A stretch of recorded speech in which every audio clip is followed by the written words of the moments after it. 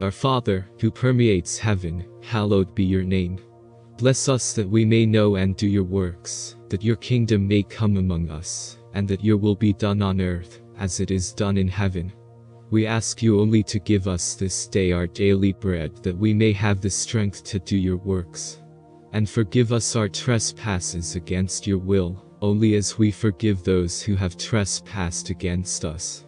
And enable us to avoid temptation, delivering us from the evil of this world and the works that we do therein, and aid us always in keeping your commandments, your thoughts, and your fullness of loving kindness.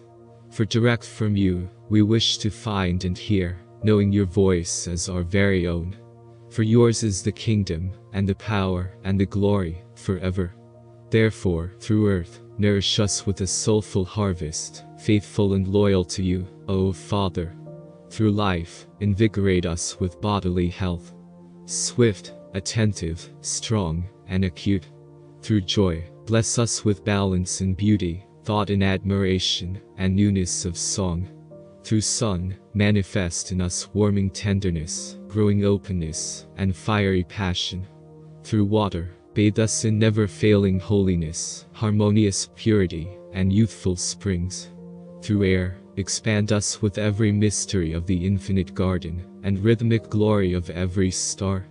And to you, our earthly mother, our Om, who is one with our heavenly Father, unto us do your will, sending daily these preceding messengers of nature in the Father's name, while forgiving us of our wrongs, and delivering us from evil. And before you, O Jehovah, our heavenly Father, we will put away the filth of our body and the evil of our spirit.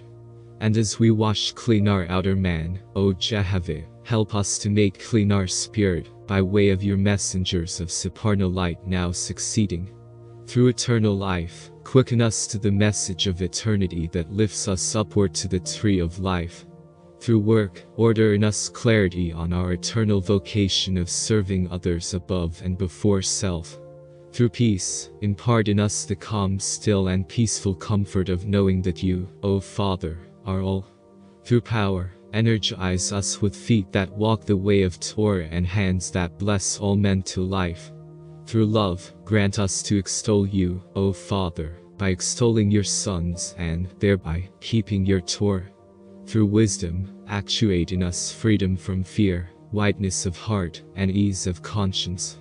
And to you, our heavenly Father, our Jehovah, who is one with our earthly mother, unto us do your will, while hallowing your name each day by our willingness to forgive and avert all evil. And while our corporeal bodies sleep, O Jehovah, help our less encumbered spirits to see the ways of your righteous judgment. For without purity, no man can see you, but with purity, all can see and hear you. This we supplicate in your eternal and righteous character, now and forevermore. Let it be so.